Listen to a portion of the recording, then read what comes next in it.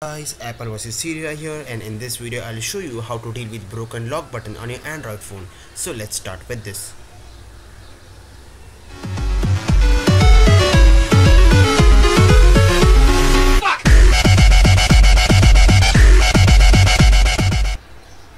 have an Android so, phone and your lock button is broken.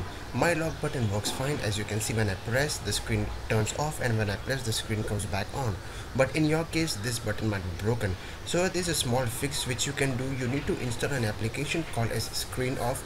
It's available in the Play Store. You can go ahead and download. I'll put the links down in the description. So you can see as I press my screen goes off. It replaces the lock button on my android phone. So if my lock button on the side which is on the side or it may be anywhere on your uh, device so it's broken. So you can see when you install the application there are two icons which you get. One is the settings. You can manually deals with the settings and you can just ensure that which which option you want to turn on and turn off.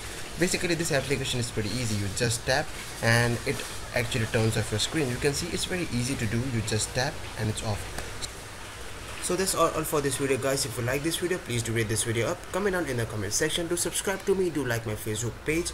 And thanks for watching. This is apple vs Cydia signing off. Make sure to click the subscribe button. Thanks for watching. Peace